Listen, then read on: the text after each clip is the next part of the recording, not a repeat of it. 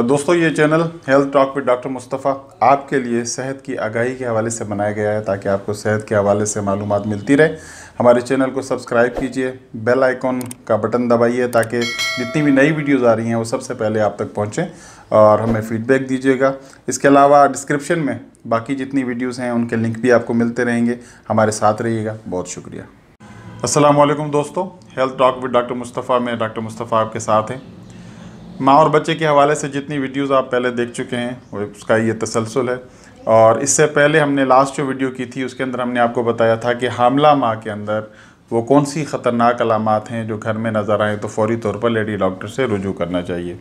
اب یہ تو تھا کہ خطرناک علامت نظر آئے تب، لیکن اگر حاملہ ماں بالکل ٹھیک ٹھاک ہے، تب بھی اس کے نو ماہ کے دوران چار چیک اپ ہونے بہت ضروری ہیں۔ ان کی کوئی کس کس مہین، ہفتے میں جو ہے وہ لیڈی ڈاکٹر کو چیک اپ کرانا ہے، صحت مرکز جانا ہے، تو اس میں سب سے پہلے جو ہے وہ آٹھ سے بارہ ہفتے کے دوران پہلا چیک اپ ضرور ہونا چاہیے۔ اس کے بعد چوبیس سے چھبیسویں ہفتے کے درمیان، چوبیس سے چھبیسویں ہفتے کے درمیان دوسرا چیک اپ ہونا چاہیے، چھتیسویں ہفتے میں تیسرا چیک اپ ہونا چاہیے، اور اڑتیسویں ہفتے میں چوتھا چیک اپ ہونا چاہیے۔ یہ چار چیک اپ جو ہیں یہ آپ نے اینی ہاؤ کروانے ہیں، لازمی کروانے ہیں تاکہ خدا نخواستہ کوئی پیچیدگی اگر ہو رہی ہے، خون کی کمی ہو رہی ہے، کوئی انفیکشن ہو رہا ہے شوگر بڑھ رہی ہے یا کوئی بھی ایسا مسئلہ ہو رہا ہے، تو اسے فوری طور پر اس کا سد باب کر لیا جائے۔ اب آپ جب صحت مرکز جاتے ہیں لیڈی ڈاکٹر سے ملتے ہیں تو ایک تو وہ آپ کا جنرل چیک اپ کرتی ہے، آپ کا جسمانی چیک اپ ہوتا ہے، بچے کا چیک اپ ہوتا ہے، لیکن کچھ ایسی چیزیں ہیں جن پر خصوصی نظر رکھیں کہ وہ چیک اپ آپ کے ہوئے یا نہیں ہوئے۔ وہ آپ یاد کر لیجیے کہ جب بھی آپ صحت مرکز پر جائیں یا کسی پرائیویٹ لیڈی ڈاکٹر کے پاس جا رہی ہیں آپ، تو یہ پانچ چیزیں آپ کی ہر بار چیک ہونی چاہیے۔ پہلی بلڈ پریشر آپ کا چیک ہونا چاہیے۔ بلڈ پریشر کا ہائی ہونا حاملہ ماں اور اس کے بچے دونوں کے لیے انتہائی خطرناک ہے اور زچگی کے دوران کافی ساری پیچیدگیاں سے سامنے آتی ہیں، یہاں تک کہ موت بھی واقع ہو سکتی ہے۔ دوسرا، آپ کا خون کا ٹیسٹ ہوا یا نہیں؟ ہیموگلوبن ہم نے لازمی چیک کرنا ہے، کیونکہ ماں کے جسم سے ہی ایک نیا جسم بن رہا ہے۔ اسی کے خون سے وہ وہ بچہ جو ہے، اپنا خون بنا رہا ہے۔ ایک، اس کی غذا کے حوالے سے یہ ہمیں ضرور دیکھنا ہے کہ اس کا ہیموگلوبن کہیں کم تو نہیں ہو رہا، تو ہم اسے فولک ایسڈ کی گولیاں یا خون بڑھانے کی دوائیں جو ہیں اسے دیں گے، اسے متوازن غذا کے بارے میں بتائیں گے۔ لیڈی ڈاکٹر سے سمجھائیں گی کہ انہوں نے کیا کیا کھانا ہے تاکہ ان کا خون کا لیول جو ہے ہیموگلوبن جو ہے وہ بڑھ سکے۔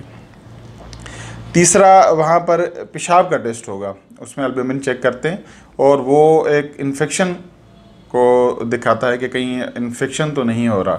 اگر اس طرح کا کوئی البومن اس میں آ جائے پیشاب کے اندر تو پھر اسے، اس کی دوائی دی جاتی ہے تاکہ آگے چل کے کوئی پیچیدگی پیدا نہ ہو۔ اس کے بعد وزن چیک کیا جاتا ہے، یہ چوتھی چیز ہو گئی۔ وزن لازمی چیک کرتے ہیں۔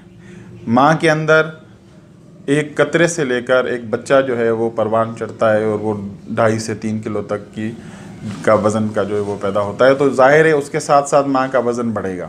اگر ماں کا وزن ٹھیک طریقے سے بڑھ رہا ہے، تو ڈاکٹر بھی مطمئن ہوں گی، حاملہ ماں بھی مطمئن ہوں گی۔ اور اگر وزن ٹھیک سے نہیں بڑھ رہا تو اس کا مطلب ہے کہ بچے میں کوئی مسئلہ ہے، تو اس کا بھی سد باب وہاں پر ہو جائے گا۔ اور آخر میں شوگر ضرور چیک ہوتی ہے وہاں پر۔ یہ چیز بھی دیکھ لیجیے گا کہ کہیں آپ کی شوگر چیک ہوئی ہے یا نہیں ہوئی ہے۔ اکثر حاملہ ماؤں کو شوگر ہو جاتی ہے ان دنوں میں۔ اور وہ مستقل نہیں ہوتی، عموماً جیسے ہی زچگی ہو جاتی ہے، ڈیلیوری ہو جاتی ہے، اس کے بعد وہ شوگر جو ہے وہ ختم ہو جاتی ہے۔ تو یہ پانچ چیزیں آپ دیکھ لیجیے گا۔ آپ کے وزٹ آپ کو بتا دیے آٹھ سے بارہ ہفتے میں ہوتے ہیں، پھر چوبیس سے چھبیس ہفتے میں، پھر بتیسویں ہفتے میں، پھر اٹھتیسویں ہفتے میں۔ اور پانچ چیزیں جو ہیں، آپ کی بلڈ پریشر خون کا ٹیسٹ، پیشاب کا ٹیسٹ، آپ کا وزن اور آپ کا جو ہے وہ شوگر ٹیسٹ اب یہ دیکھیں کہ بچہ پیدا ہونے کے بعد شرع اموات جو بچوں کی ہے، نوزائیدہ بچوں کی تشنج کی وجہ سے سب سے زیادہ ہوتی ہے، ٹیٹنس کی وجہ سے سب سے زیادہ ہوتی ہے۔ اس لیے تمام ماؤں کو تشنج کی ویکسین لگائی جاتی ہے، ٹیکے لگائے جاتے ہیں۔ اس کا صحیح طریقہ کار تو یہ ہے کہ جیسے ہی بچی پندرہ سال کی ہو جائے، شادی سے پہلے ہی، اس کا جو کورس ہے وہ شروع ہو جانا چاہیے۔ پانچ اس کے ٹیکے ہوتے ہیں۔ اس کا شیڈیول میں آپ کو بتا دیتا ہوں کہ پندرہ سال کی جیسے ہی بچی ہو تو وہ شیڈیول شروع کر دیا جائے تاکہ آنے والا بچہ تشنج سے محفوظ رہ سکے۔ پہلا ٹیکہ پندرہ سال کی عمر ہو جائے یا حمل کے بعد جتنا جلدی ہو سکے۔ یہ پہلے ٹیکے کا ہے۔ پہلا ٹیکہ جیسے ہی پندرہ سال کی بچی ہو جائے، اس وقت لگوا لیں۔ یا پھر جب اگر نہیں لگا، تو پھر جب شادی ہو، حمل ہو جائے، اس کے بعد پہلا وزٹ جو ہو، ڈیڈی ڈاکٹر کے پاس اس میں پہلا ٹیکہ لگوا لیں۔ دوسرا ٹیکہ پہلے ٹیکے کے چار ہفتے بعد لگے گا۔ یعنی ایک ماہ بعد۔ دوسرا ٹیکہ ایک ماہ بعد۔ پہلے ٹیکے کے ایک ماہ بعد۔ تیسرا ٹیکہ جو ہوتا ہے، وہ دوسرے ٹیکے کے کم سے کم چھ ماہ کے بعد ہوتا ہے۔ یعنی پہلا ٹیکہ پندرہ سال کی عمر یا جو پہلا وزٹ ہے حمل کا اس میں، دوسرا جو ہے اس کے ایک ماہ بعد، چار ہفتے بعد، تیسرا جو ہے دوسرے ٹیکے کے چھ ماہ بعد، چوتھا ٹیکہ تیسرے ٹیکے کے ایک سال کے بعد لگتا ہے۔ اور پانچواں ٹیکہ اسی طرح چوتھے ٹیکے کے ایک سال کے بعد لگتا ہے۔ تو یہ پانچ ٹیکوں کا ایک کورس ہوتا ہے۔ اگر کسی خاتون کے یہ پانچ ٹیکے مکمل ہو چکے ہیں، تو اب اسے اگلے حمل میں ٹیکے لگوانے کی ہرگز ضرورت نہیں ہے۔ یہ اس کا مکمل پیکج ہو گیا۔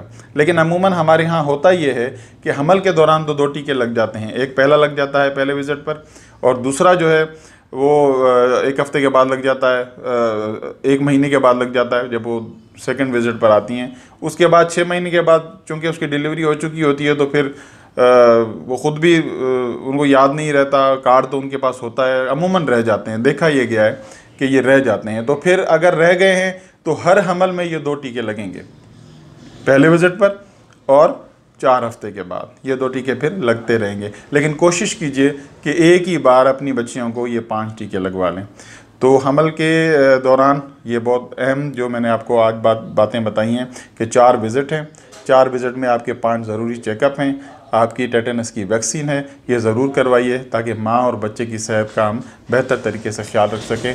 بہت شکریہ۔ اللہ حافظ۔